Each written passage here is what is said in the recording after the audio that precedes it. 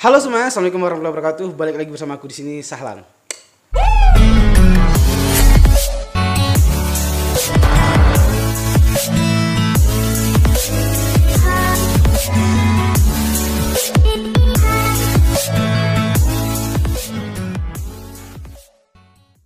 So guys, apa kabar kalian semua hari ini? Semoga selalu kalian sehat dan selalu kalian baik-baik saja tentunya.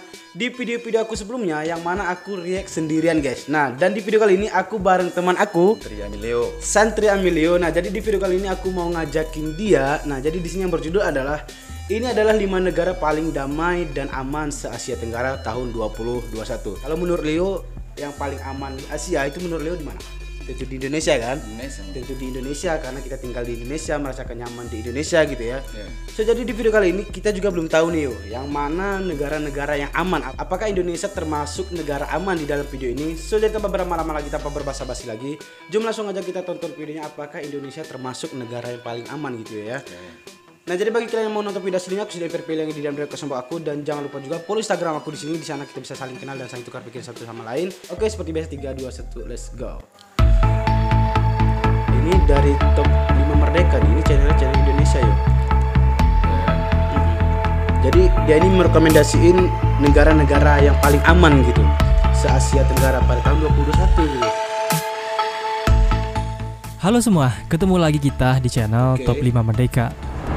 Belakangan, Global Peace Index yang merupakan sebuah laporan yang dihasilkan oleh Institute for Economics and Peace yang mengukur posisi relatif kedamaian suatu negara dan wilayah baru saja mengupdate ranking negara-negara teraman dan terdamai di dunia untuk tahun 2021. Laporan ini memiliki beberapa indikator, mulai dari keamanan dan keselamatan di masyarakat, konflik dalam dan luar negeri, hingga aspek militer. Ranking ini sering kali dijadikan acuan untuk tujuan travel dan wisata. Nah, dari 163 negara yang termasuk dalam daftar ini, 10 di antaranya berasal Dari dari Asia Asia Tenggara, ya. kecuali Brunei Darussalam. Somehow negara Sebelum Brunei belum- tidak belum atau belum ya? dimasukkan ke dalam Belum daftar ya, ini. Kita. Oleh karena itu, tak ada salahnya jika kita membahas 5 negara Asia Tenggara yang berada di posisi teratas dalam daftar ini. Bisa dianggap 5 negara ini adalah yang paling aman dan damai untuk kawasan Asia Tenggara. Ini semacam udah So, sudah cukup untuk intronya. Inilah dikumpulkan 5 gitu. negara Jadi paling damai dan aman di Asia di- Tenggara apa? tahun Dicari 2021 untuk negara-negara yang berdasarkan aman Global gitu. Peace Index. Oke. Yang pertama, yang kelima ya kalau nggak salah. Vietnam. Lima, Nomor Vietnam. lima Vietnam yuk. Berarti kelima ya? Menempati ranking 50 dari 163 negara, negara Vietnam dinilai sebagai salah satu negara yang paling aman di Asia Tenggara, bahkan dunia. Minimnya konflik internal maupun eksternal menjadi salah satu penyebab terkuat negeri naga biru ini tergolong negara yang aman dan damai. Alasan ini pula yang membuat banyaknya wisatawan dunia mengunjungi negara Vietnam. Apalagi dengan panorama yang indah, budaya yang kaya, dan menawarkan berbagai wisata kuliner yang layak untuk dieksplor. Selain itu, banyaknya wisata alam yang aman seperti pantai dan sungai juga menjadi andalan Vietnam untuk menunjukkan kedamaian dan keindahan negaranya kepada dunia. Penduduk Vietnam sendiri merupakan salah satu penduduk teramah di dunia. Hal ini dibuktikan dengan rendahnya kekerasan kriminal di negara Vietnam berdasarkan Global Peace Index. Hanya saja, untuk hubungan dengan negara tetangga, menurut Global Peace Index, Vietnam tidak mendapatkan nilai yang begitu memuaskan.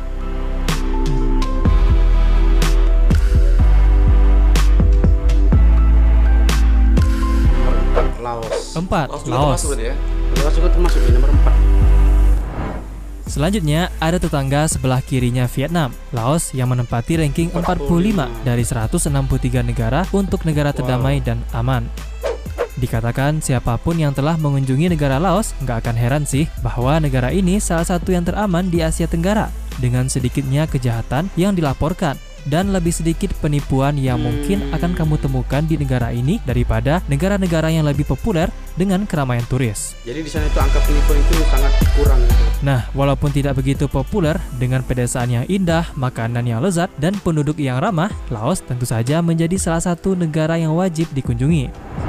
Mulai dari menghabiskan malam di hutan dengan Gibbon Experience, Wow. mengamati berbagai tradisi ya? puluhan Iya. tahun, hingga wisata bersepeda melalui kota wisata Phang Tapi ya sih, untuk sih pengalaman yang keren ya. abis. Jadi pengen Walaupun begitu, menurut Global Peace Index, Laos masih harus memperbaiki beberapa hal untuk meningkatkan keamanan dan kedamaian di negaranya. Salah satunya adalah masih tingginya akses terhadap senjata di negara ini.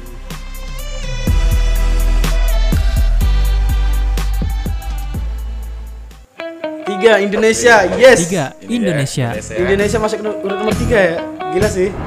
Tiga tingkat di atas Laos, Indonesia Oh, menempati nyangka ranking banget kalau ini masuk 42 nomor dari tiga ya. 163 negara untuk negara terdamai Hmm. dan aman. Negara terbesar di Asia Tenggara ini mendapatkan nilai yang cukup memuaskan di beberapa faktor. Di antaranya tingginya dana untuk pemeliharaan perdamaian PBB dan minimnya kasus-kasus Iya. pembunuhan. Dari sisi pariwisata, Indonesia tentunya sangat unggul di keindahan alamnya. Mulai dari sawah hijau yang subur, pantai yang menakjubkan, hingga gunung-gunung yang tak ada tandingannya. Tentunya ini menjadi penarik utama bagi para wisatawan dunia yang ingin mengunjungi negara paru-paru dunia ini. Belum Kalau lagi kekayaan flora dan fauna serta ya, keberagaman kita budaya ya yang kan. tentunya menjadi keunikan tersendiri dari Indonesia. Negara Indonesia memiliki akses terhadap senjata yang rendah, politik yang tergolong masih cukup stabil, serta keamanan dan keselamatan yang cukup memuaskan. Walaupun memang negara Indonesia masih sering terjadi kekerasan dalam kriminal maupun demonstrasi, serta masih terjadinya teror-teror politik. Ini menurut Global Peace Index loh ya. Pada akhirnya, negara tercinta kita ini masih tergolong negara yang damai dan juga aman.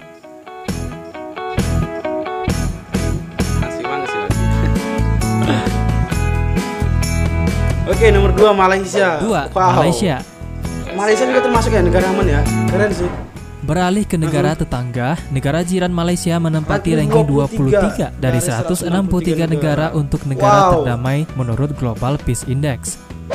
Nah, hampir dari semua indikator keamanan suatu negara yang ditetapkan oleh Global Peace Index, negara Malaysia mendapatkan nilai yang bagus. Hanya saja, pada persepsi kriminalitas di tengah-tengah masyarakat masih cukup tinggi, namun hal ini terus membaik setiap tahunnya. Dikatakan keamanan dan kedamaian negara Malaysia hanya dapat dialami secara langsung. Suasana yang ramah dan bersahabat Iya yang akan membuat kamu terpikat kalau, orang berada Malaysia di negara ini. Dengan ramahnya itu loh. Pulau-pulau indah yang tersebar di sekitar daratan, kota-kota yang ramai, dan banyaknya makanan lezat untuk disantap menjadi penarik utama negara Malaysia. Negara Malaysia memiliki konflik internal maupun eksternal yang rendah, politik yang stabil, aktivitas teroris yang rendah, rendahnya populasi orang terlantar, dan hubungan dengan negara tetangga yang cukup bagus. Sebelum kita lanjut ke nomor satu, pastikan dulu kamu tekan Oh iya, jadi bagi teman-teman yang di belum bawah dan juga lonceng notifikasinya supaya kamu tidak ketinggalan kalau ada video baru dari channel ini. yang menarik. Singapura. Wow, nomor Satu, satu, nomor satu Singapura. Singapura. Singapura yuk. Wow. Enggak heran lagi ya, dari Gua awal kayaknya sih sudah jelas sih yang nomor satu gitu ya. pasti Singapura.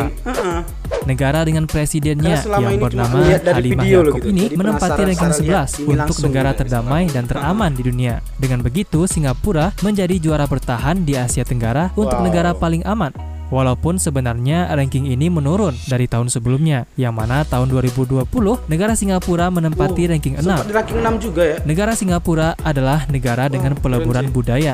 Dari Chinatown hingga Little India, negara ini akan menyambut kamu dari mana pun Wow, kamu berasal.